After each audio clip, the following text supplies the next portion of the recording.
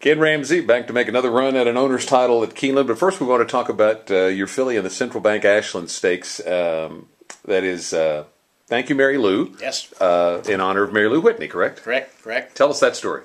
Well, uh, my wife had a stroke a little over seven years ago, a very devastating stroke, and uh, unconscious, uh, totally out of it.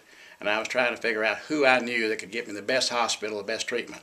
So we just won the Whitney Stakes up there not long before that, and I became friends, uh, distant friends, with uh, John Hendrickson, Mary Lou's husband. And I had his telephone number, so he said, if you ever need anything, give me a call. So anyway, I called him, and uh, it just so happened that his wife had had a had a stroke. That's why I called him. So uh, wasn't as debilitating as Catherine's was. But anyway, uh, John sent a plane, his own private plane, NetJet. Uh, told me I could have it, the doctor and everything, and flew the doctor from California to Florida. And uh, he treated my wife. Uh, could have made the difference, and one never knows, but she's still with us. And uh, so we bought this Birdstone filly, and uh, everybody thought she was going to be super. She trained well and all that, so I thought we would, uh, at the last minute, name her Thank You Mary Lou.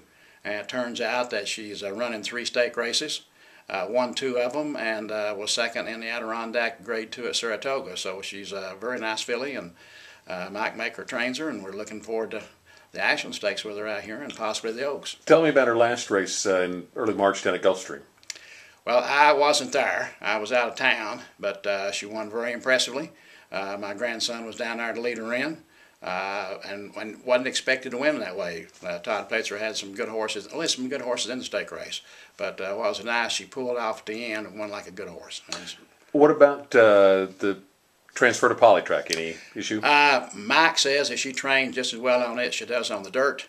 So we were trying to pick up the grade one with her out here and make her a super broodmare prospect, but she certainly won't mind the dirt over the Oaks if we make it over there. And if she wins out here or runs second, we'll get enough points to get in. So that's the ultimate goal. Take her to Churchill Downs on the Oaks Day. Distance not a concern at all. No, don't think so at all. She's by Birdstone, good distance factor, uh, good looking, good looking filly. Uh, what about her ability to, depending on where she would draw, to you know tactical ability? Does she need to be up on the front? Can she kind of come from anywhere? I don't think there's any problem with it. I mean, uh, she very versatile. So she's got some tactical speed. I think the jockey can position her where everyone's wants to position her. What, we just hope uh, to do Mary Lou proud again. She called, I found out she won. I was in Barbados when she won. So um, down there to win the Barbados Gold Cup. So the first call I got, I was sitting at the polo game, and it was John Hendrickson and Mary Lou on the phone. and Said, Oh. "Congratulations, we're looking forward to watching you lead her in." I said, "Sorry about that. My grandson's going to lead her in." Well, they can watch, see you maybe at uh, at Keeneland. yes. I'm sure they will watch. They've taken a personal interest in the fact that she was named for Ms. Whitney. Uh, tell me what stands out uh, about this this filly, just in terms of uh, other great fillies you had. What's unique uh, about her? What's special? Well, I have never had a filly that all three of her races have been in stake races. You usually start a filly off in a maiden race. But in her case, we thought she was good enough. She's a Virginia bred. So uh, she won't get the Kentucky Thoroughbred Development Fund money, but we started her off at Colonial Downs because of that. And uh, she won her first race over a stake race. Of course, the next one was up Saratoga.